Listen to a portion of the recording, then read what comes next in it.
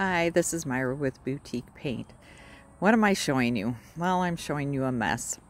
Um, we have a tenant moving in in two hours, at least moving his stuff in. He won't be moving in until the weekend. And we've been working on this for almost two years trying to get it um, fixed up. This is now a uh, dining room. It used to be a bedroom. This is really a strange house. We couldn't figure out where the original walls or whatnot were. There was a wall right here. It was a, a non-load bearing wall. This is what the bedroom looked like before we took down the wall. This is with the former tenants in it. And this is what it looks like now. Still a mess, but it's it's getting there. Um, it's been a crazy week trying to get this done. This is the hallway. That's what the hallway used to look like. It, he painted it all black, including this bedroom here. Um, but we're trying to get this done. And on top of that, I got vertigo this week. And so I'm I got, was able to do the maneuver to uh, put the crystal back where it was supposed to be, but I'm still a little dizzy.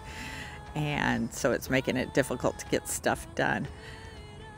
But this is a house that um, is next door to our house, and so when it the tenant wanted to, or the person wanted to sell it, my husband wanted to buy it because he wanted to be able to pick his neighbor.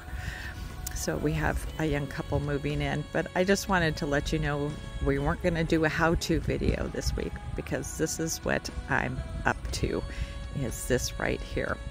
This is the upstairs and it wasn't original to the house, but they at some point in time put in this little dormer and sheetrocked it, and it was funky, funky, funky up here.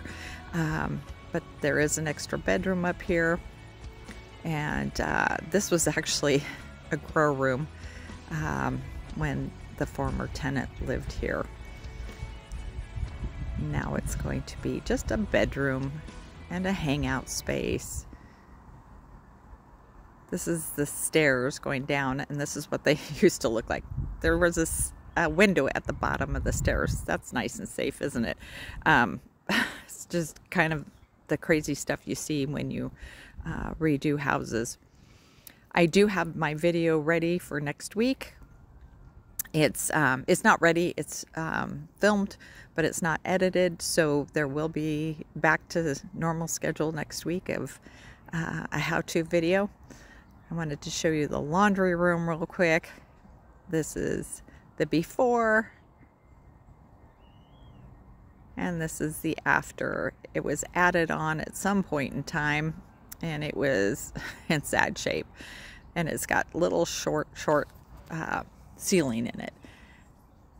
But we will be back on schedule next week with a how-to video. It's a cute project. Um, I'm really sorry once again that I didn't get the chance to uh, edit it and get it out.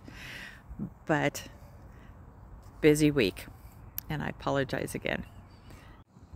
But I do want to say a very big thank you for all your support and your watching of our videos and your commenting and asking questions. I love that. I hope you have a great week, and I will see you back here next week with a new project. Bye.